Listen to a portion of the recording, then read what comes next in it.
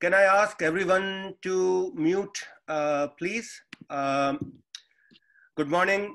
Uh, welcome to the webinar series uh, of British Indian Orthopedic Society. Uh, this is our fifth webinar. Uh, all these webinars uh, so far have covered different subspecialties and have been very successful. We've got three eminent foot and ankle surgeons who will be sharing your experience with you. Just a couple of things about the housekeeping. Um, please stay muted. If you have any questions, please put it on the uh, chat uh, uh, function and we'll pick up the questions and we'll do the discussion towards the end. So we'll go with the three talks, uh, the calcaneal fractures, followed by talus fractures, followed by Lisfranc fractures, and then we'll do 15 minute discussion with the faculty in the end. Uh, there is also in the chat function, there is a link for feedback. So please uh, fill in the feedback. It's uh, simple, uh, but as soon as you've done the feedback, you'll, it will generate a certificate for you. So don't forget to do it. And also, if you're not a member of British Indian Orthopedic Society, I would strongly encourage you to join us. Um, uh, and there will be a link for the membership as well. So without uh, spending any more time, I would uh, welcome our first speaker, Mr. Mahadevan, who is a, a foot and ankle surgeon at Reading and he's going to talk about calcaneal fractures. Over to you, Dev. Thanks, Manish, um, and and thanks again once for uh, for the for the invitation to do this um, webinar with you guys. So I'm Dev Mahadevan, based in Reading. Foot and ankle practice is uh, all I do, and we're going to talk about calcaneal fractures today. So, in terms of um, the objectives of this talk, I'm going to briefly describe the epidemiology, mechanisms of uh, injury, how we assess these uh, fractures, a brief overview of classifications that I feel are useful, uh, treatment strategy, and um, complications from calcaneal fractures. So, the mechanism. Now, invariably, the vast majority of these patients are uh, young patients. 90% are in the age of 20 to 45, and they're mainly industrial, falling from heights, etc., and usually young men. And the mechanism is for intra-articular fractures, which is what we are talking about today mainly, it's a axial load, and that's the lateral talar process, literally wedging into the sinus tarsi, causing fractures through the calcaneus. Now, depending on the uh, severity of the force and any rotational alignments uh, through it, the fracture patterns are different. So fall from height is a classical example. Road traffic collisions where um, the brake pedal or accelerator pedal hits on the plantar side with force leading to these fractures. And as we discussed earlier, you end up with different fracture patterns depending on the force applied. So twisting injuries is another way of fracturing calcaneal, uh, calcaneus, but um, it tends to lead to extra-articular fractures mainly, such as the anterior process of the calcaneus and occasionally the calcaneal tuberosity. So assessments, I mean, patients would usually come in with heel pain invariably. And uh, don't be surprised that you will see bruising, blistering very soon after these injuries because they, they can blister within three hours of the impact. Now, do not forget associated injuries. About 10% of these patients may have a concomitant tibial plateau, uh, lumbar spine, or even bilateral calcaneal fractures. So worth looking into this and worth imaging these parts if there's any suspicion of that. So what would you expect to see? Well, if the fractures are displaced enough, the heel can be widened. You will see that the heel may be shortened. There'll be bruising, blistering, and open wounds is something you need to look for. And this is most commonly seen on the medial side. And the other thing to note is that some of these fractures will put the skin at risk. So if you have a calcaneal tuberosity fracture or a tongue type fracture, you may end up with puncture marks or potential uh, open wounds where the fracture is literally sitting under the skin. So if you see these, these are what I call potential uh, skin breakdown leading to uh, future problems if not dealt with acutely. So if you suspect a calcaneal fractures, go for some imaging. Um, the most uh, frequently used are x-rays because they're very useful. And I find a series of x-rays helps you um, uh, dissect the fracture lines and, and plan your surgery.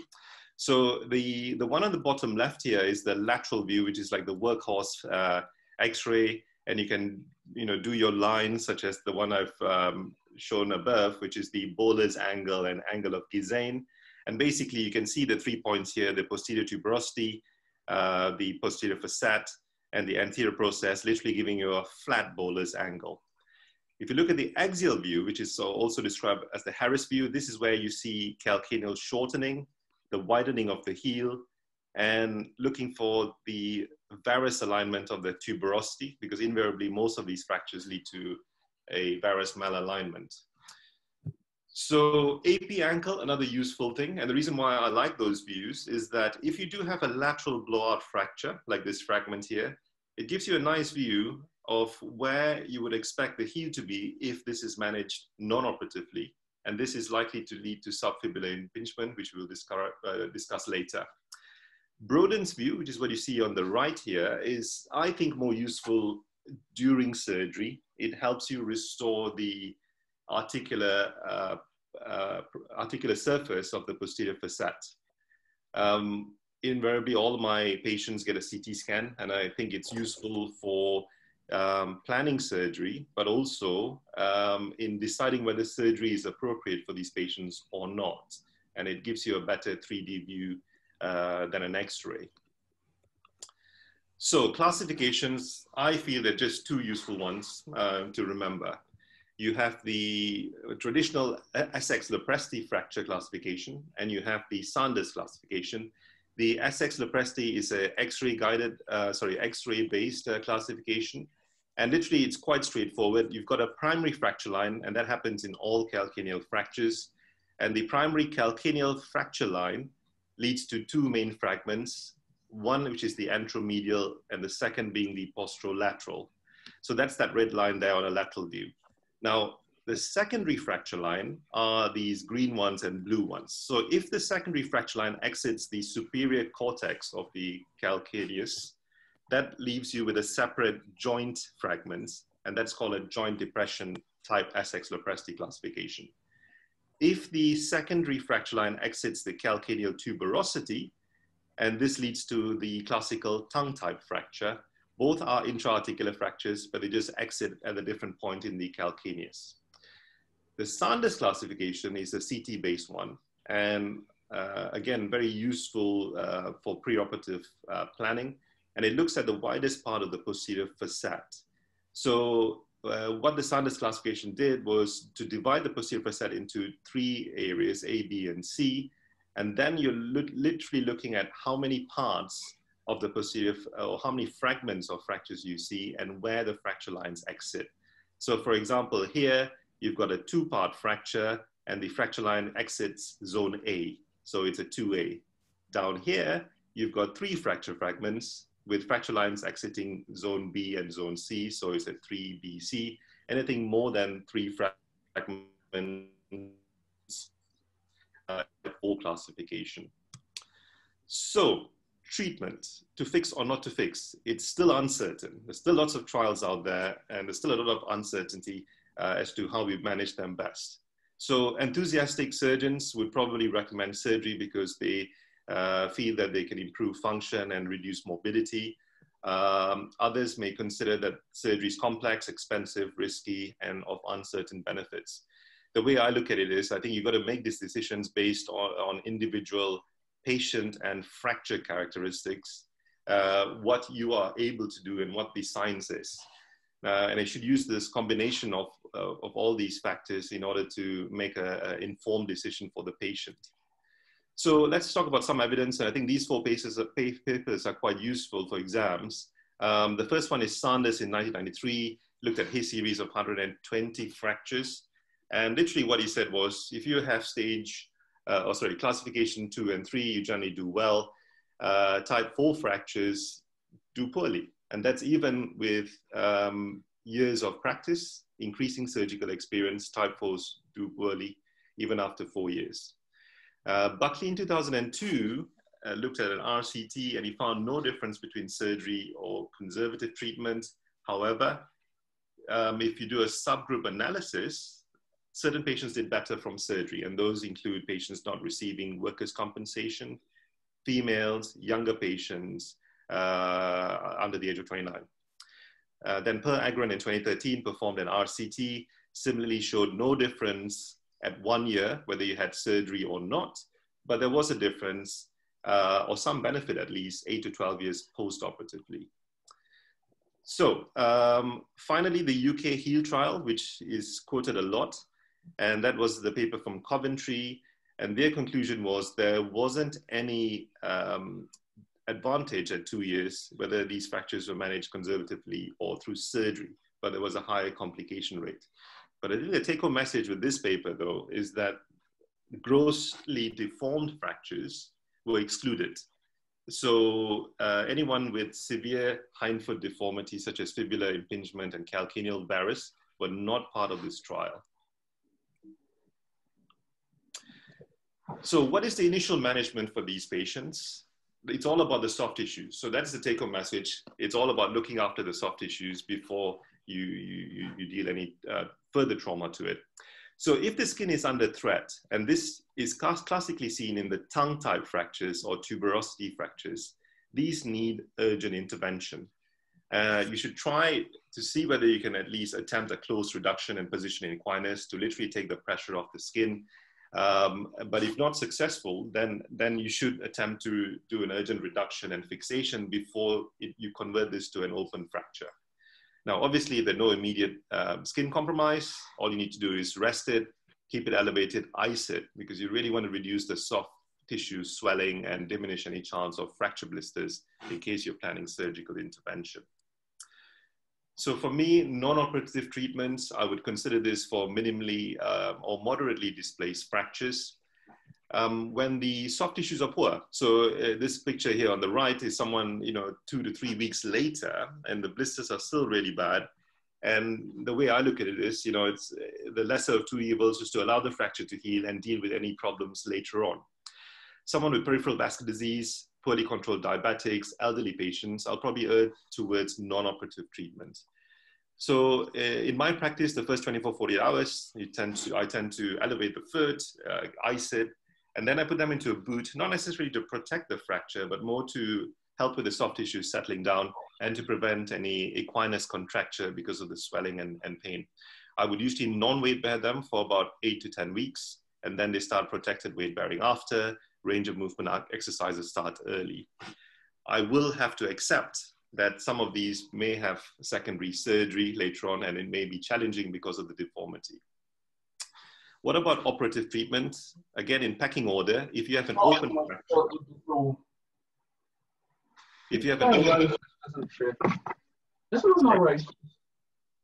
if you have an open fracture or the uh, skin is at risk, when you have significant joint subluxation or dislocation, like on the CT scan here, I would err towards surgery. Now, a fracture displacement of two millimeters on isolation, I may not intervene, but in combination with the others, I, am likely to, to intervene at that stage. So the main objective of surgery is to restore the heel shape, correct the varus, narrow down the heel again, gain the height, relocate any displaced joints, and try and restore the articular surface as well as possible. And you, you, you do that with the view of having uh, to try and reduce mobility going forwards. So what are the classical uh, approaches to dealing with this? Is the extended lateral approach, which was uh, popularized by Zwipp and Atkinson, which is a long extended lateral, a big L-shaped incision. It's very useful. It's a, uh, it gives you a great view of the calcaneus, uh, but it can potentially cause soft tissue problems. And therefore, you need to be very careful, especially in this corner, about how you handle the soft tissues.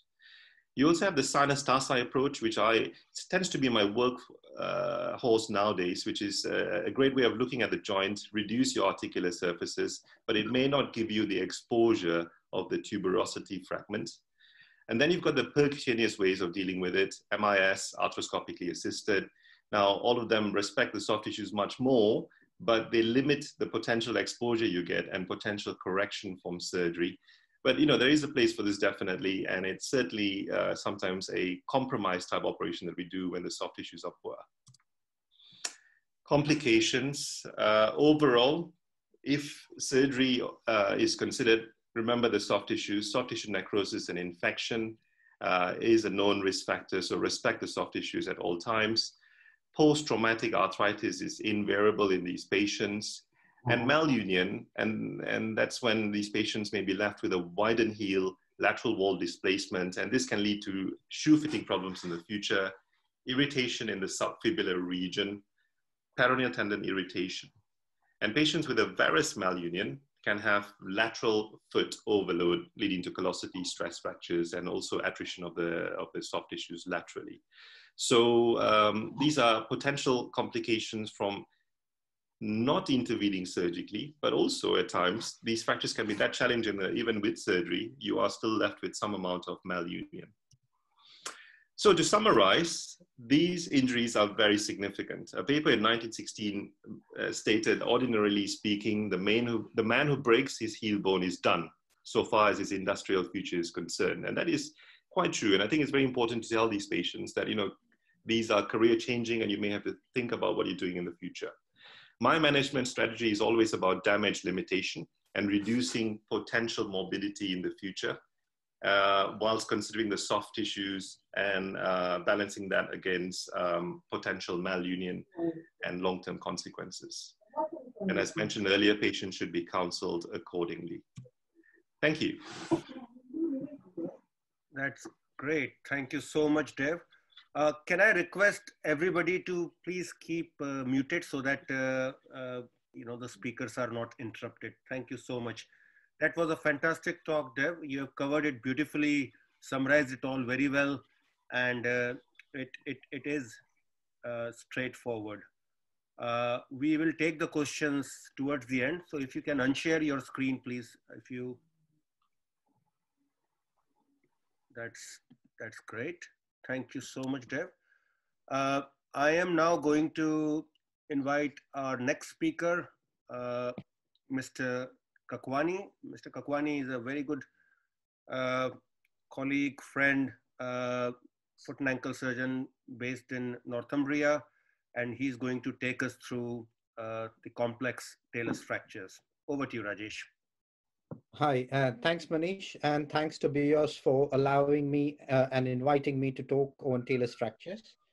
Um, I've tried to dedicate the talk and uh, direct the talk towards two categories. One is general orthopedic surgeons and to tra trainees who are going to appear for the exam.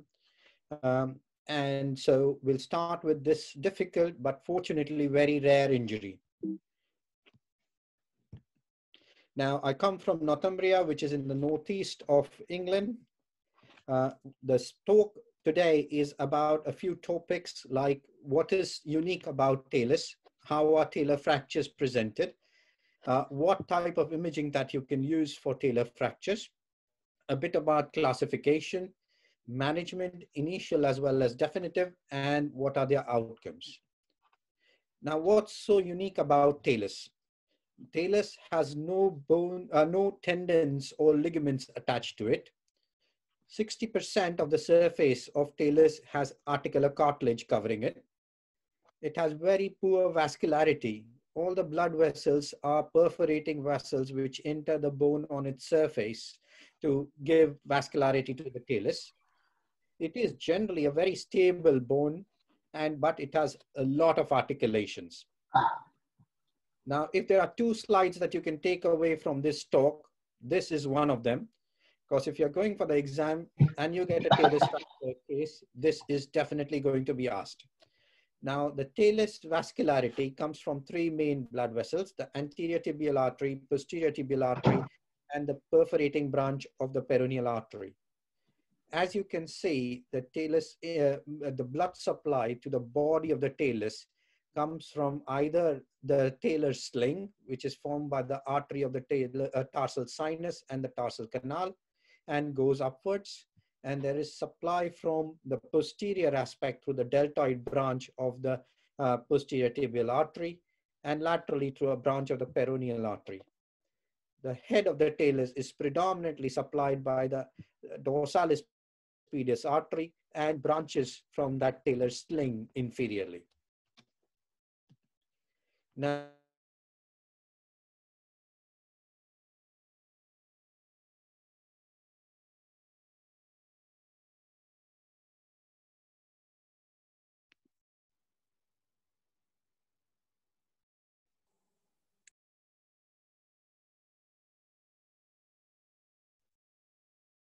Rajesh, we have lost you. I can't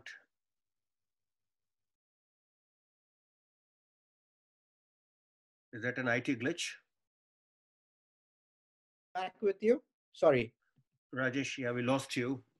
Yeah. Can you Are you, it uh, again, can you see me now again? We can see you. Can you just go back? Uh, yeah, sure. I'll start with this again. Sorry for the IT glitch. No problem. Uh, Don't now worry. You can go back to the vascularity, please. We, we lost you from Okay. there. Yeah. So the vascularity of the talus is extremely, extremely important. And this is one of the most important slides that you should take away from this talk. Uh, all the arteries are perforating arteries which enter the bone of the talus and supply it. It has no muscle or tendon insertion which would give it blood supply. So the main blood supply is from the posterior tibial artery, the dorsalis pedis artery, and the perforating branch of the peroneal artery the main supply to the body part is from the tarsal sling, which is a combination of the artery of the tarsal sinus and the tars artery of the tarsal canal, coming medial and lateral respectively. There are also branches posteriorly which form an anastomosis around the posterior process of the talus from the calcaneal branch of the uh, posterior tibial artery and then laterally from the peroneal artery.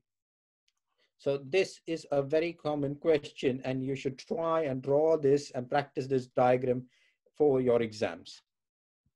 Now for uh, the fracture types, the commonest ones are the talar neck fracture. You can also get talar body and talar head fractures, but you should not miss the peripheral fractures of the talus, i.e. the fractures of the posterior, i.e. medial and lateral posterior processes of the talus or the lateral process. You can also get questions about osteochondral uh, fractures of the talar dome. Now, about the process fractures, whether it's lateral medial process fractures, generally what you would need to do is have a CT scan to ascertain whether these fractures are comminuted, the size of the fragments. If they are big enough, then there is an option of fixing them with interfragmentary compression but if they are uh, small, then there is an option of excising them or treating them conservatively and then excising them if they are symptomatic. Now, regarding the main meat of this talk, which is the talar neck fractures, these, as Dave also mentioned, are associated with a very significant soft tissue injuries. 30% of them are open. They can have a phenomenal internal degloving, and they are prone to a compartment syndrome it is extremely important to identify these urgently and treat them urgently on most cases. Otherwise, the whole skin can necrose and lead to a effectively open fracture. Now, the other thing that you need to know, especially for the exam, is the specific view described by Canale, which gives you a very nice profile view of the talar neck. This is especially important during intraoperative reductions to know to avoid any varus or valgus malunion. So as described, this is a special technique to see the talar neck in profile. Now, you would obviously use pre-op CT scan, which would help you define where the fragments are, the comminution, it will help you decide which approach you're going to take and your method of fixation. Now, the second slide, which is possibly the only two slides that you need to take away, is this classification. That is Hawkins classification. You would almost invariably be asked about it, where type 1 is an undisplaced neck fracture. Type 2 is a fracture of the talar neck with subtalar sub displacement. Type 3 is subtalar and tibio-talar uh, subluxation and type 4 which was added by Canale also includes the na uh, navicular talonavicular joint being dislocated obviously as the intensity or the classification progresses towards 4 the avascular necrosis rate goes on increasing this has been debated but still most of your examiners would consider these figures to be known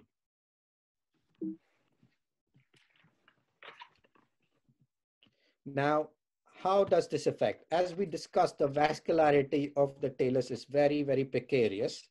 Imagine when these joints get dislocated or the talus moves away from the subtalar and the tibiotalar joints, all those tenuous blood supply vessels would get disrupted and you would get avascularity of the talar dome.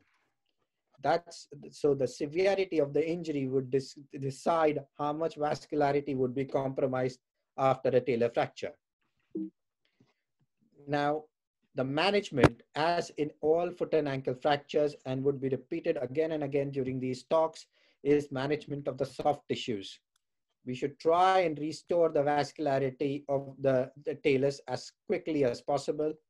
In most cases, you may have to span it and scan it and then plan your surgery. Now, it is important to take the pressure off from the skin, especially if the talus, uh, talar dome is out of the tibio-talar joint. It is important to reduce additional vascular insult by your approaches. It is important to restore the anatomically uh, as far as possible to enhance vascularity and reduce the risk of AVN. Now, which approaches can we use for the talus, talar neck fractures? The commonest one used is the anterolateral approach, which is from the anterior aspect of the lateral malleolus to the third metatarsal. It is relatively internervous plane, and we try to uh, use windows between those blood supply of the talus to approach the lateral aspect of the talar neck. It gives you good views to reduce the talar neck fracture. It can be used in isolation or in combination. Sometimes you need to have extra access I generally tend to release the ATFL rather doing a fibular osteotomy like this.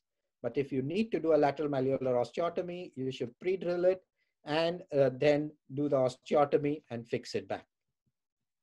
The medial approach is between the tibant and the tib post, which is the traditional approach that you would have used for talonavicular fusions. It again uh, reduces the risk of additional vascular insult to the talus and is in, in a relatively avascular area. The medial approach can be augmented by doing a medial malleolar osteotomy. I tend to use these approach mainly when we have an intra-articular talar body fracture, which needs to be reviewed uh, anatomically as reduced and fixed. Uh, important thing is between the superficial and deep deltoid ligament runs that deltoid branches of the talar blood supply it is important to be aware of that and not compromise that. The advantages and disadvantages of medial approach is the advantage is that you can assess the tibial uh, the talar comminution medially, which is common site. There is dorsal and medial comminution associated with talar fractures usually. You can reduce it anatomically, but the disadvantage is fixing it from there if you are very, very dorsal in your article uh, anterior to posterior screws, then you may, in theory, distract the fracture site on the plantar aspect. You do additional stripping of the blood supply. And if you're using a collateral approach, i.e. anterolateral combined with medial approach, then beware of that skin bridge between those two approaches. Keep as much skin bridge as possible to avoid that bridge from necrosing. The other trick is that if you can get a slightly plantar intra-articular headless compression screw through the talar head, then you reduce that risk that I described a couple of minutes ago. The posterolateral approach is used mainly for fixing the fibula, uh, fixing the talus rather than reducing it. You cannot see the reduction through this approach. This part of the approach is the vertical limb of the extended lateral approach the structures obviously to be aware of is the sural nerve and you have to approach it between the flexor hallucis longus and the peroneus brevis tendon. If, if you're using this approach to fix the uh, talar neck fracture, it is important to approach it laterally, start the screws laterally, just distal to the articular surface. And when you're doing that, you should remember that you have to point the screws plantar 24 degrees and medial 24 degrees due to the peculiar anatomy of the talus. Now, in summary about the surgical approaches, you get fantastic reduction through the anteromedial approach and then anterolateral. Comparatively, you, the fixation may not be as stable with these approaches, uh, but the posterior approach gives you fantastic fixation and does not compromise the vascularity, but doesn't allow you to reduce it anatomically. Now, going through an example, this is an example of a patient uh, where I was called by one of my panicking colleague with this talar neck fracture where the talar body had subluxed posteriorly. Now, how would I approach this? First of all, we need to reduce that talar body back into the uh, tibio-talar joint. You may wish to put a Steinmann pin through the calcaneum to give traction. You would rarely ever succeed in doing these closed in the A&E. So I would encourage you to get them to theater as soon as possible because that talar body would compromise on the blood supply and the skin overlying it. Now, I use, generally I use put K-wires into the talar body and the talar head fragment as joysticks to be able to manipulate those fractures fragments into reduction and then percutaneously either pass K-wires or guide wires of the screws that I'm going to use for definitive fixation.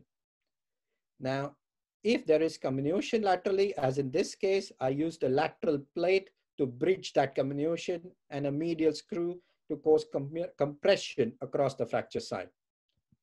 Now, this is the, uh, the, these were the Canale views and the AP lateral views of the ankle to make sure that there is no malunion. The commonest malunions are in dorsiflexion and in varus. These are the fixation devices. On the lateral side, I've put a bridging plate across it, and on the medial side, an intra-articular headless compression screw, which has been buried below the articular surface. Now, that's how the plate was put on, and that was the position of the screw. Now, post-operatively, you would keep them non-weight bearing for at least six weeks. What you need to know for your exam purposes is that Hawkins sign. That is that radiolucency that appears due to the prolonged immobilization at around six to eight weeks after the fracture. That is a good sign. That means your talar body has vascularity. That's why it has been involved in that uh, disuse atrophy or disuse osteoporosis. Now, outcomes.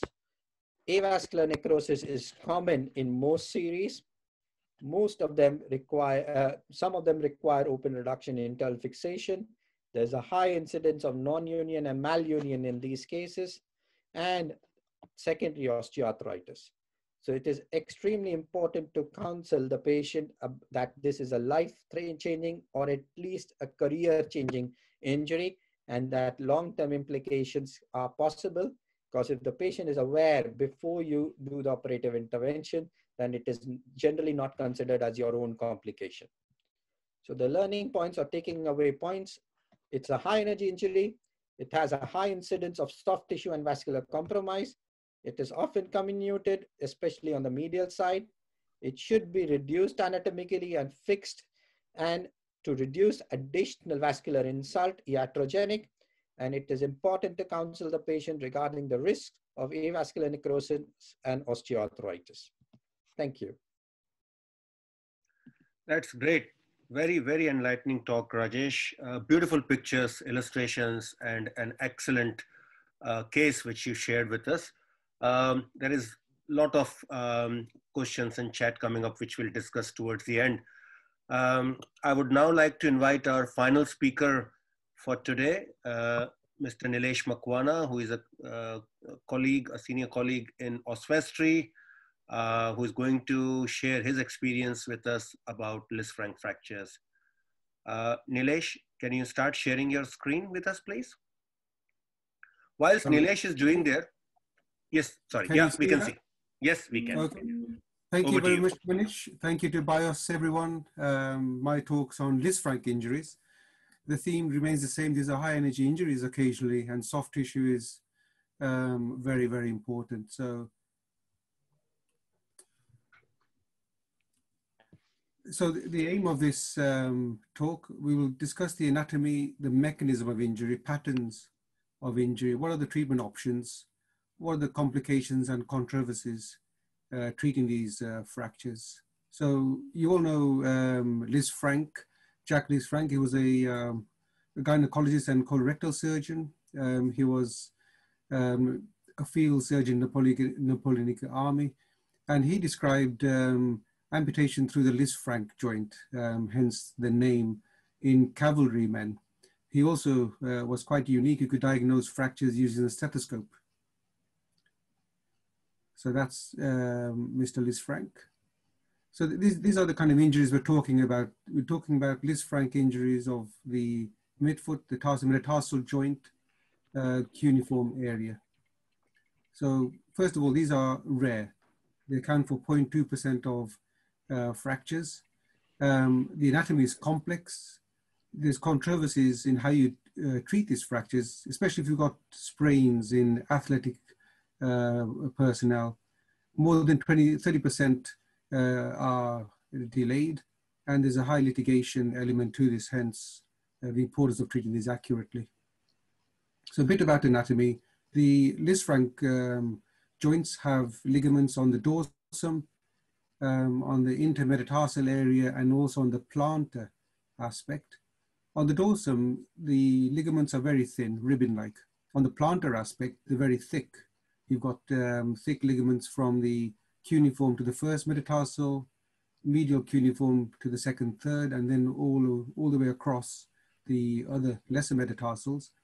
In the intermetatarsal area, the most important ligament is the Lisfranc ligament, and that goes from the medial cuneiform to the second metatarsal there. Now, in some people, it can be two bundles, others it's just a single bundle, but that's very important. And the other important bit to note is there's no intermetatarsal ligament between the first and second. Second, third, third, fourth, fourth and fifth do have intermetatarsal ligaments. And this is a uh, illustration of the Lisfranc ligament. And you can see it on um, MRI scans T1 and T2 images there. The other important element is the bony uh, architecture. So the metatarsal bases and the cuneiform form a what we call a Roman arch, and the second metatarsal is the keystone. Damage the keystone, and the integrity of the arch is compromised. Another classification uh, or theory is a columnar theory by uh, Myerson and Chiodo from uh, Baltimore.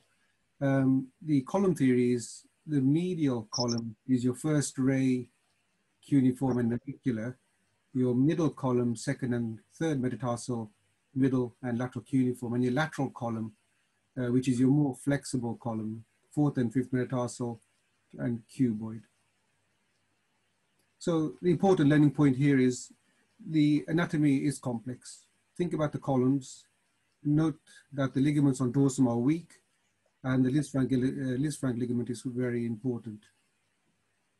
So how do most people get these injuries? Well, you can have high, high energy injuries or high energy athletic type sport injuries where you can get an axial type injury. You can have high energy crush injuries. Note the significant um, uh, damage to the soft tissue on the plantar aspect. Or what we typically see is the low energy twisting torsion type injury. Elderly lady stepping off a stool, hanging up a curtains, and she complains of pain in the midfoot. So the important bit here is you can have direct and indirect injuries. You can have multiple forces going through the foot and no one really knows the exact mechanism because it's quite complex. But soft tissue injury, the crush injury is, is very important to be aware of. So when you, um, when you look at these patients, making your uh, diagnosis, you've got to take a good history about the mechanism, find out where the pain is. And often patients say, I've slipped off, I've got pain in the middle of the foot, it's swelling, uh, when you examine them, there's swelling there, the tender in the midfoot. They can't go on tiptoes, especially the single limb stance. You do ask them to go step on tiptoes on one leg and they, they struggle. Also, if, if they have plantar bruising, plantar ecchymosis, this is almost pathognomonic of a Lisfranc injury, so a very high index of suspicion. So we said before these are these can be subtle injuries. Uh, between 20 and 39% are missed. So look very carefully uh, at the gap between the first and second metatarsal. Look for the fleck sign, we'll come on to that in a moment. So be very suspicious and have a very high index. Normally you would see trauma x-rays where the patient's on the bed and you've got AP and lateral but if possible, try and uh, get standing x-rays once the pain and swelling is settled. Um, on the AP view, you're looking at the first and second metatarsal. On the 30 degree oblique view, you're looking at the lateral three um, rays. And on the lateral view, you're looking at alignment of the TMT joints in the sagittal plain. So what do you look for on your plane x-rays? Try and match up first and second TMT joint. Look at the gap between the first and second uh, metatarsal and cuneiform. Match up the um, medial aspect of the medial, middle cuneiform and second metatarsal. And the gap between second and third. On the oblique view, match up the uh, cuboid and fourth metatarsal. And on the lateral view, match up the TMT joint. Here you can see the second metatarsal is depressed there. So if you look at these carefully, then you'll often pick these lesions up quite easily. So the fleck sign, if you look carefully, sometimes you see a tiny fragment between the first and second metatarsal. That's an avulsion of Lisfranc ligament and can come off the second metatarsal or the cuneiform. Somebody's writing on my PowerPoint presentation. I don't know if you're seeing that as well. Yes, I can see that as well, Nirej. oh, I, I, don't know who's doing that, but it's not me. Someone's got executive powers, sorry. so uh, don't forget the cuboid. So in some of these injuries, you'll see uh, significant crush injury to the cuboid. And if the lateral column length is shortened, that can lead to significant uh, deformity, which you've got to uh, look and address. Um, imaging wise, again, standing views are very important. If you're not sure, get comparative views, both feet, standing AP, and compare the gap between the first and second metatarsal. Again, if you're not sure, then you may undergo stress views in theater. So you stress the midfoot joints in all three planes AP translation, varus valgus, and also rotatory. So um, you, you, look at the uh, TMT joints in three dimensions. Uh, ultrasound scan is also becoming used more frequently now with uh, the user operator expertise increasing. You can actually pick up subtle uh, injuries as well. So here's a stress test. You can see before and after the displacement uh, between the first second metatarsal, also the incongruency of the first TMT joint. This is a young girl referred to me, stepped in a pothole, presented to A&E with midfoot pain. It was swollen. Six weeks later, these are the x-rays and you can see the diastasis there, small fleck fragment as well. So this was a missed Lisfranc injury. Again, if you're not sure, your next modality will be a CT or MRI. CT is very good for bony anatomy, there's a high number of patients who have uh, metatarsal fractures or associated fractures, such as uh, talus or uh, ankle or calcaneum. So worth looking at for MRI scan is good for looking at the ligamentous injury, um, but not very good for anatomy bone-wise. Classification, I won't dwell on this too much. Um, Quénu and Küss first proposed a classification which is then modified by Hardcastle and then subsequently by Myerson. Um, none of them give you prognostic um, features um, and none of them address the ligamentous uh, side. But if we look at the Quénu and and that's, this is a Hardcastle. So essentially you got types A, B, and C. So type A, we have total incongruity, where the whole forefoot is translated laterally or in an AP direction. Type B is partial incongruity, either the medial uh, side, the first metatarsal displaces medially and the rest stay in the same place, or the lateral uh, side of the foot displaces and the first ray stays in the same place, or you get type C divergent.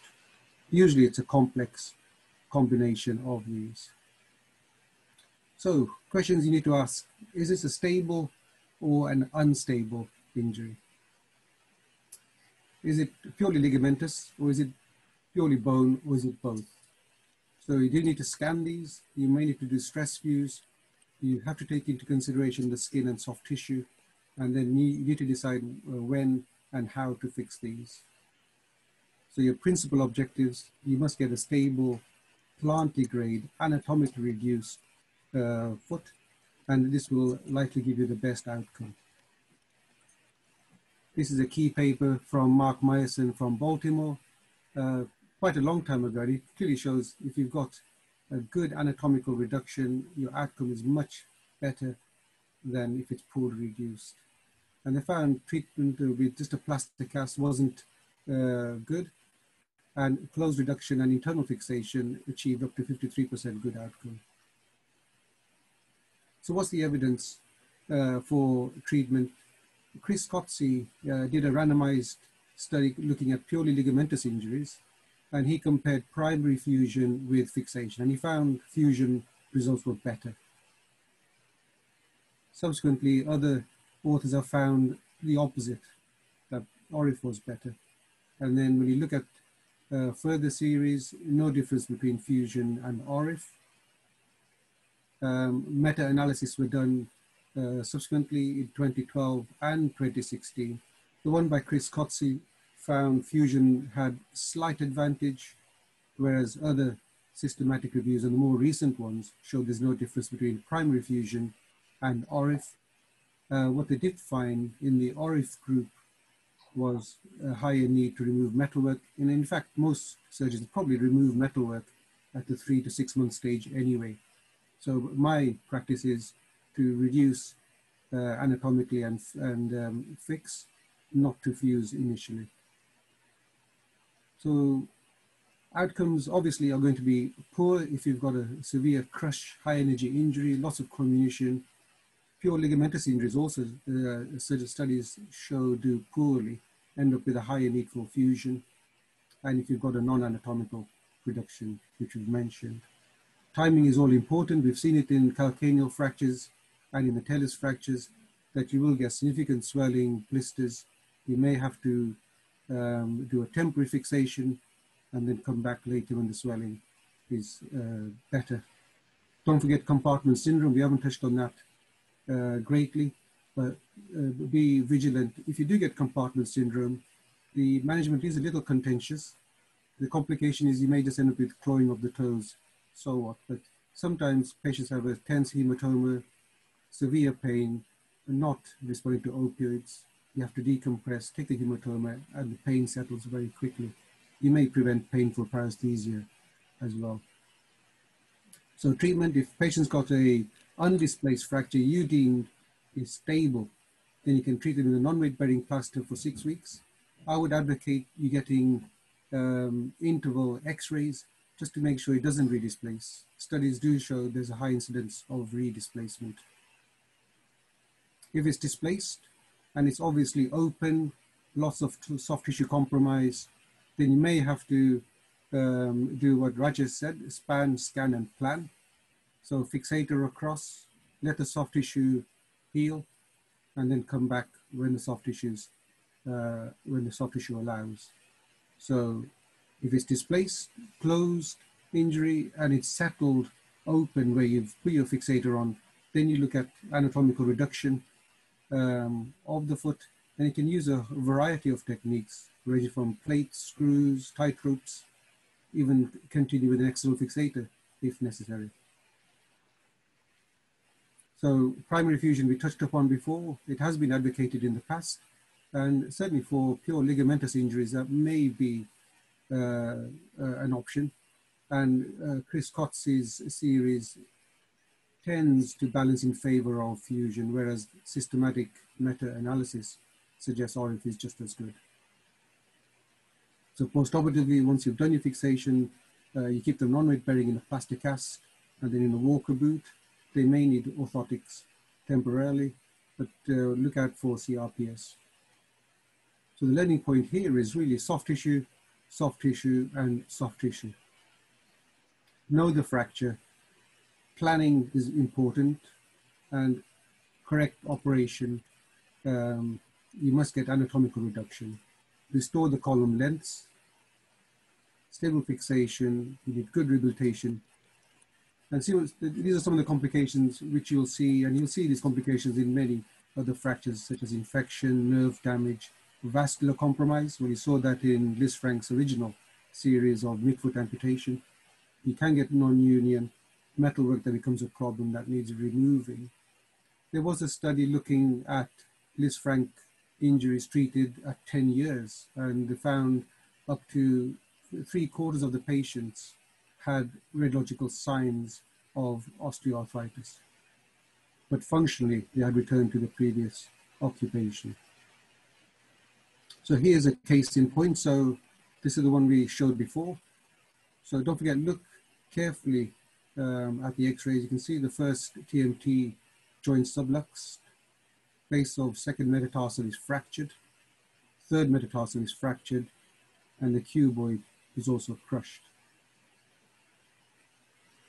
CT scan may help with planning. Intraoperatively, you can see uh, fracture fragments all over the place. You need to reduce this anatomically. So if the soft tissue doesn't allow, then reduce anatomically, stabilize with a K-wire, and then come back. Stay, K-wires alone are probably not sufficient. You have to remove them often at six to eight weeks because uh, of pin track problems. Ligaments take three months. And this is the cuboid element. You've got to restore the lateral column. And then this was the definitive fixation where uh, intra-articular fractures were fixed. You had a bridging plate crossing the joint and a cuboid H plate maintaining the length. There are other techniques, tight ropes. This is for a pure uh, first, second uh, joint diastasis. There's a closed uh, injury, closed reduction, closed fixation. There's a variety of other techniques also, and K-wires tend to be used for the lateral column to maintain mobility. Screws have been used in the past, but they tend to use up 6% of the joint space. So if you take away a bit of the joint space, chances are you may precipitate or promote osteoarthritis. So in conclusion, these are difficult fracture patterns. They can be a cause of major disability and even litigation. So do respect the soft tissue. Try and maintain anatomical reduction. Um, if symptoms occur following treatment, then fusion is always a possibility. So GIRF, get it right first time, it should be the principle. Um, revision surgery generally has a poorer outcome if you miss these in the first place, but uh, the actual data is a little variable. Thank you very much. Thank you, Nilesh. Uh, very clear message, um, really useful for trainees as well as everyone, I think. Um, and there are lots of questions which have come in the uh, chat room. So Sunil uh, Bajaj, my colleague moderator, is handling the chat room. Sunil, are you ready with the questions uh, for the faculty? Okay, I'm okay, Manish. Yeah. Okay. Okay, so we can we can go with the questions. So uh, thank you, everyone. Fantastic talks. Uh, there are lots of questions there.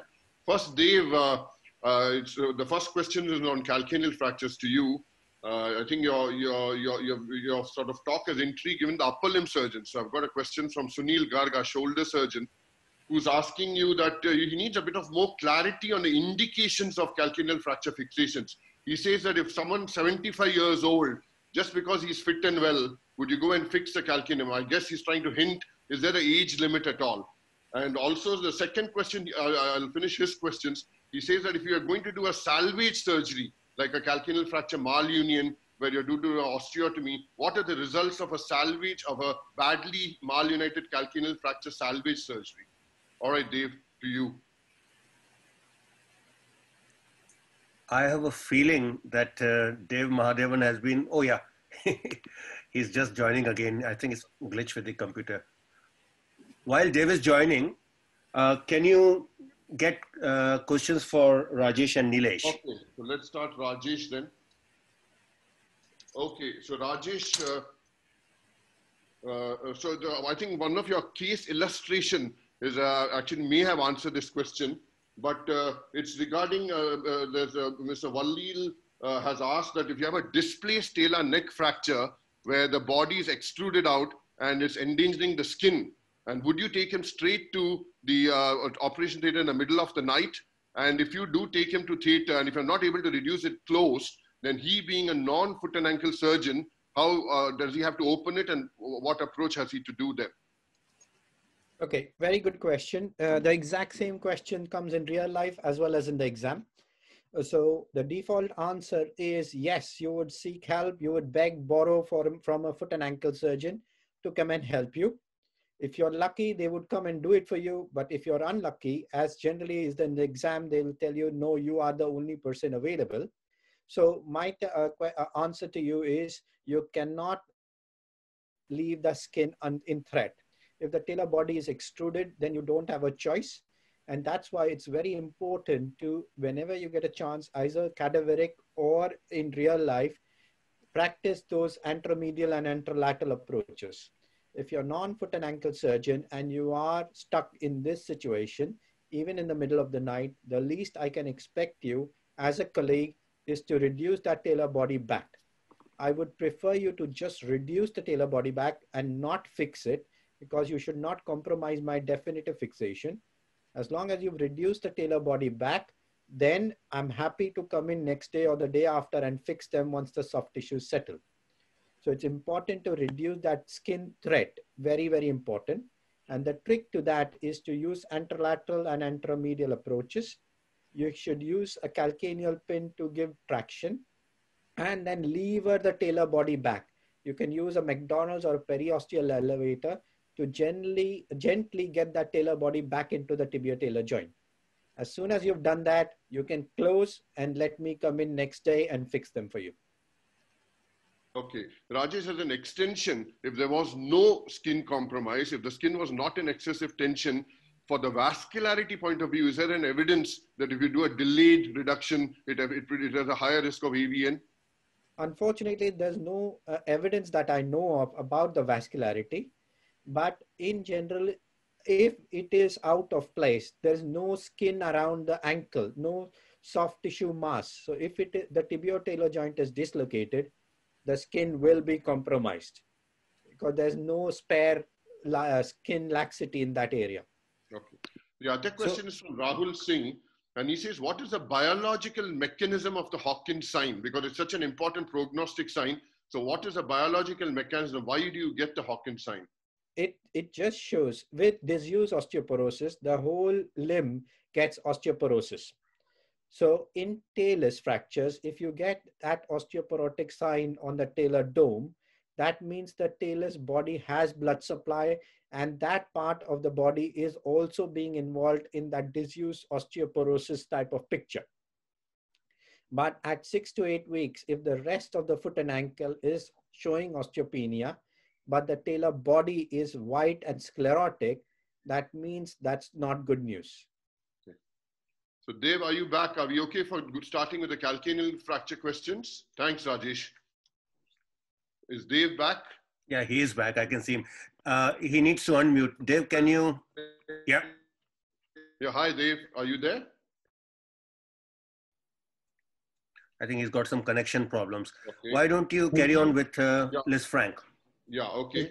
Um, Manish, uh, um, if, if, you want, I can answer Dev's question and Dev can join in. Well, I, I, I, sure. I think there's no, there's no phys- physiological age for calcaneal fractures. Some 60 year olds I see are very good athletes, they'll run.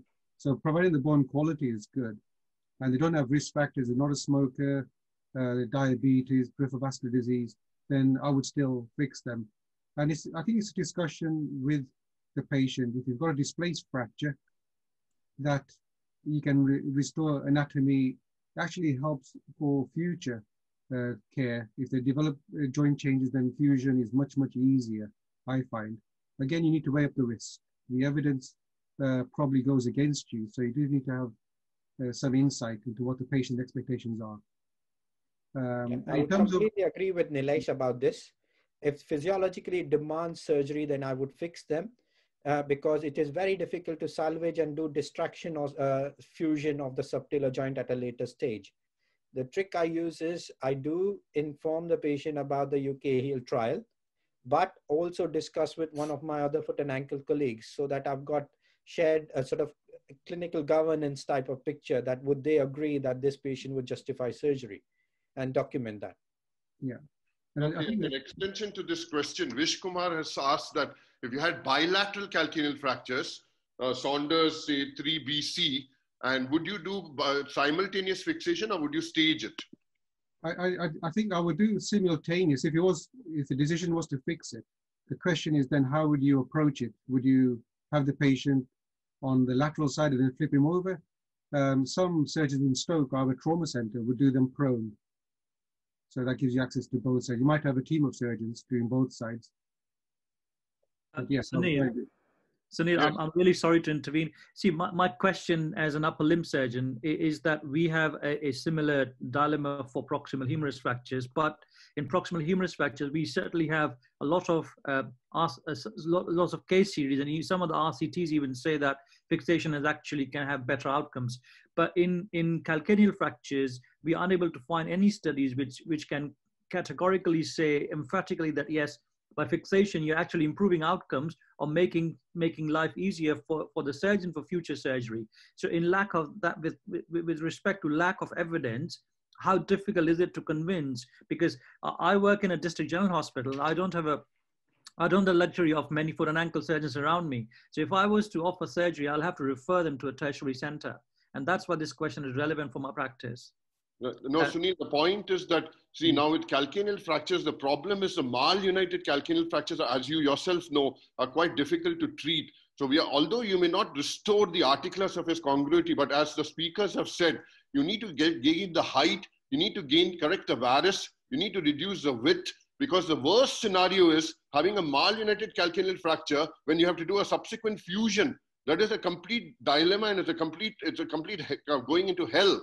So if you could improve it so that you can have a basis or a foundation to fuse it in the future, so you should do something to do that rather than leave it in a malunited position and then come back later and deal with two disasters. That's what I think. I don't know if Nilesh or Rajesh or Manish want to add in. I, I would Sunil, say- all I'll say, Mm, sorry, Nil, I- I I was just, just making a light comment that Sunil Garg has ignited Sunil Bajaj's passion.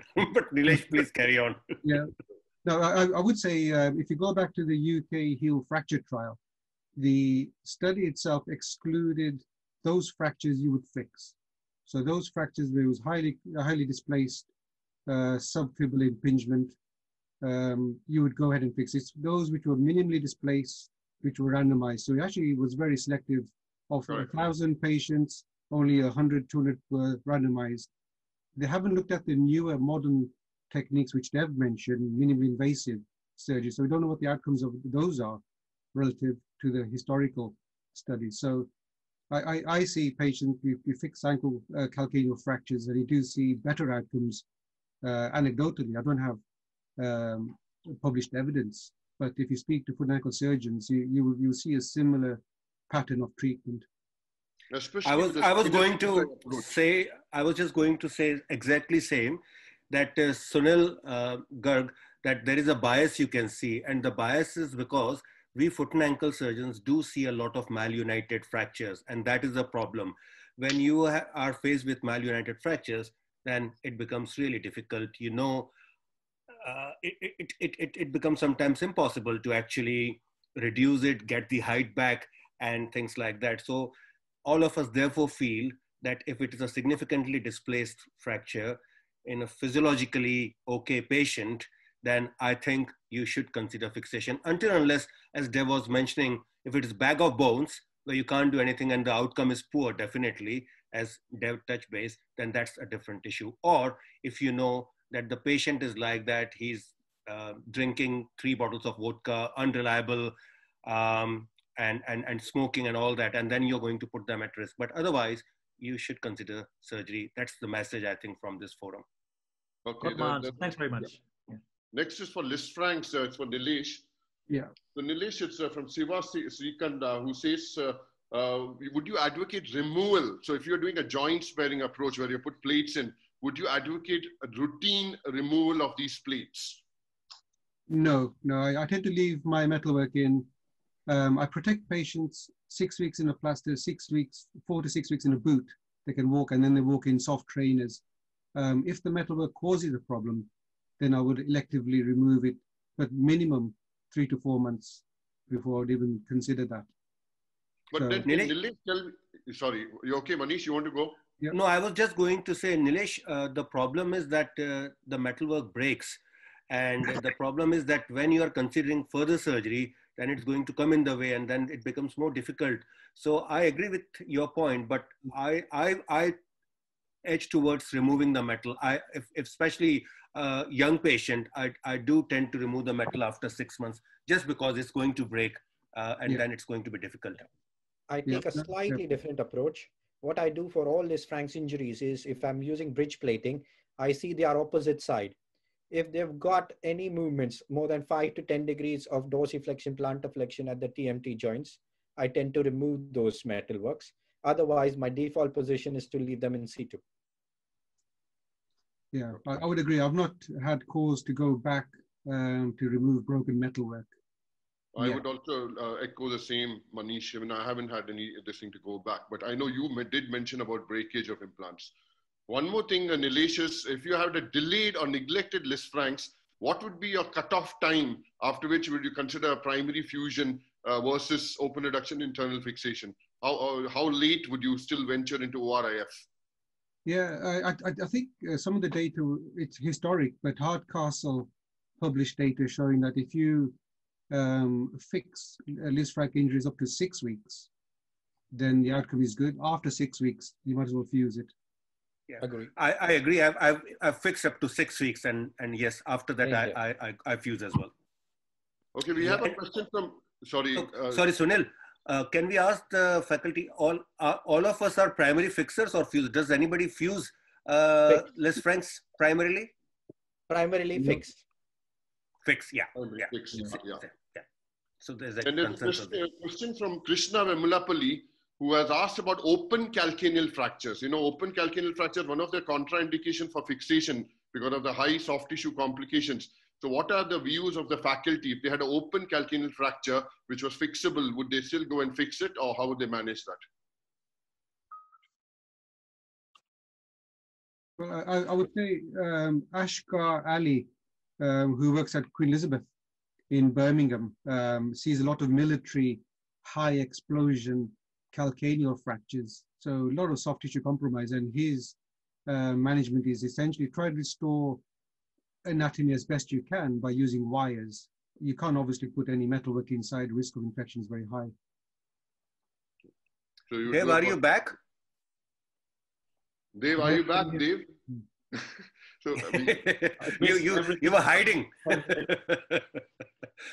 I hope it doesn't break down. I'm using my phone's connection. you missed all the Nilesh, questions. I've missed Nilesh and. Rajesh, Nilesh and Rajesh have very kindly um, uh, filled in, but we, we would like to know your thoughts as well. So Sunil, can you ask Dev? So one, uh, and Dave, there was the first indication what Sunil was talking about, Mr. Sunil Garg. So he was saying, you know, that, you know, all the, there is no hard evidence that fixation actually, you know, has good results compared to non-operative fixation.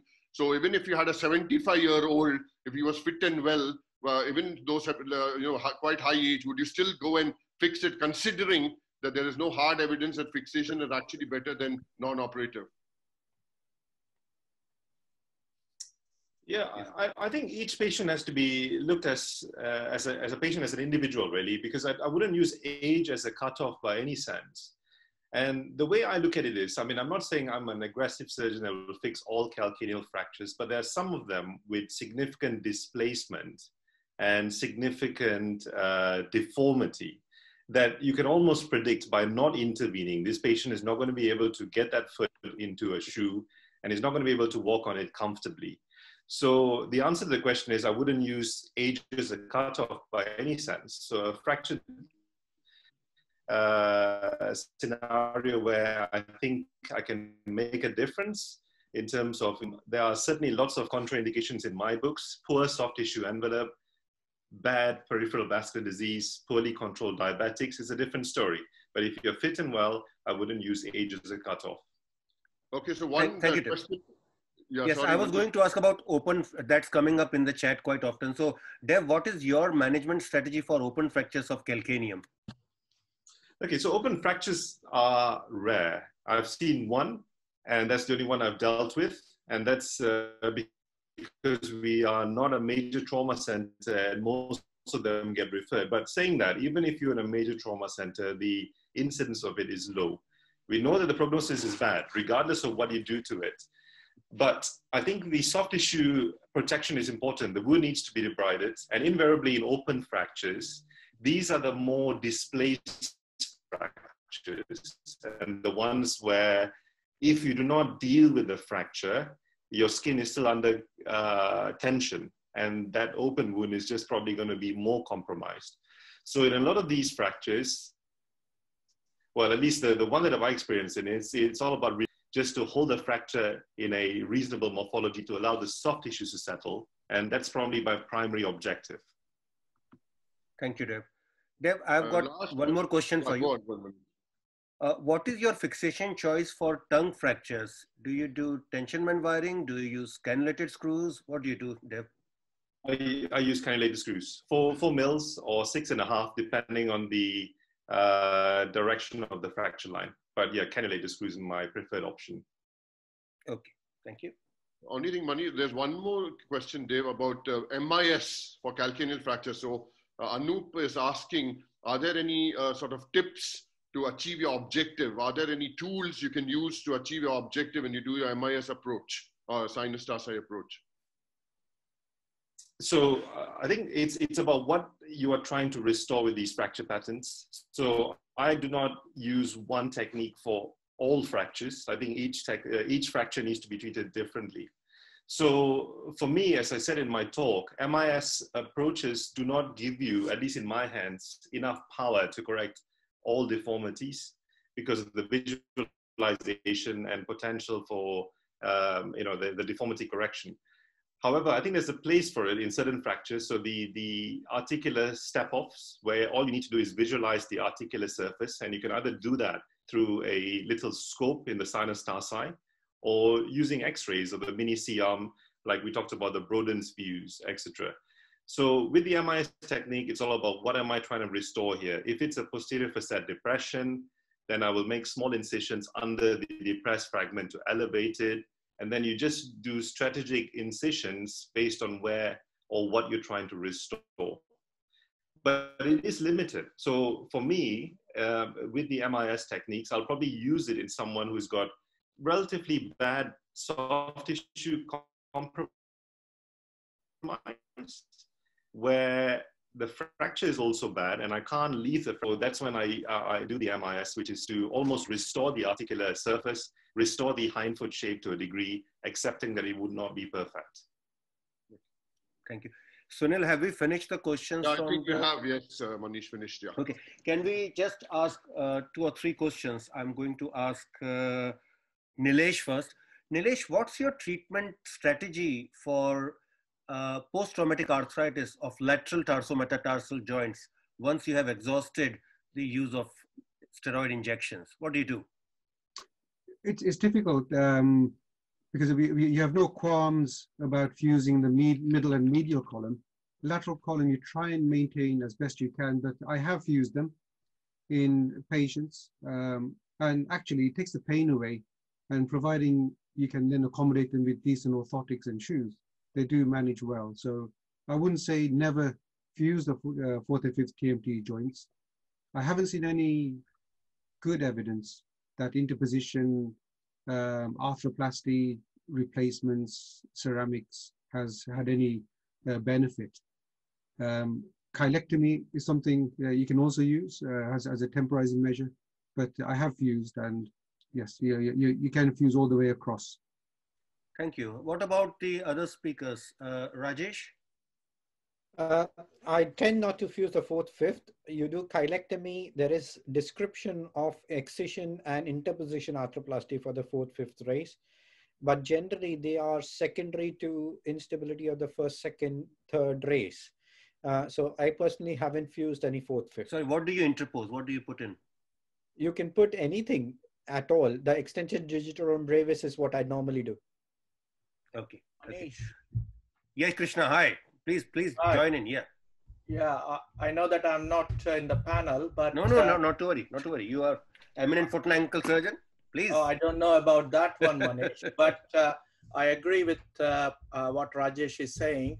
a fourth and fifth is a mobile joint. So we should not, uh, I mean, my understanding is that if you fuse that, that is going to cause more problem.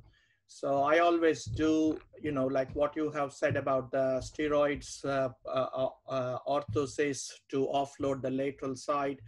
And then if that if that doesn't work uh, i do a small excision arthroplasty uh, using a midas rex or something like that. I have about three or four patients who has excellent result and i have been doing that for the last uh, six seven years. Nobody has come back to me so sorry when you say excision arthroplasty are you excising the base of fourth and fifth metatarsals yes i i just create a small space between the the, the fourth and fifth TMT joints. Oh, that's interesting one. I've never come across that. Has that been published, Krishna? Well, I have three cases. So I think yeah. uh, if you do some, then we can do a joint publication then, I don't put anything because if you put anything, it is going to disappear over there. Manish, just to add on, you know, I was with Prof. Hintermann and he was actually swearing at someone who had fused the fourth and fifth. He actually had to take it down, and he had done an interpositional arthroplasty. So I, I, guess there are evidences, but it's uh, apparently it's it's not the best with fusing the fourth and fifth. so it's I a difficult area, and there is no easy answer. Yeah. It is a difficult area, and if you have excessive loading on the lateral side with fusion, it is more difficult. You are create you you are converting a challenging to a impossible situation there mm. i've got one more question for nilesh mm. uh, nilesh one of uh, your pictures showed tightrope and i'm interested in that because the reason is i had a, an elite player and the physiotherapist uh, or the team doctor wanted me to use tightrope and i said i'm not going to use tightrope i'll fix it the way i do it so, how's your experience with type, tightrope for uh, soft, uh, ligamentous injuries for uh, Lisfranc? Uh, I have not used it. I have seen it used. I tend to use a inert screw either from the medial cuneiform to the second metatarsal or vice versa, depending on your exposure. But my concern with the tightrope is you, you do get a, um, the FiberWire has poly surrounding it and you will get irritation, uh, sometimes inflammation in that zone. So my personally, I, I don't use it personally, but I, I am aware people do use it with good results. So uh, completion. Thank you, thank you. Uh, Rajesh and Dev, do you have any experience of tightrope for Lisfranc or Sunil? Uh, I've done the Arthrex tightrope twice, only in uh, this just athletic population. My default is screws, but I've used it twice. Arthrex do have a very nice mini tightrope configuration one goes through the Lisfranc's area from second metatarsal base to the medial cuneiform. And they've also got an intercuneiform type of tightrope. And it does work only in a very extensive experience of two cases.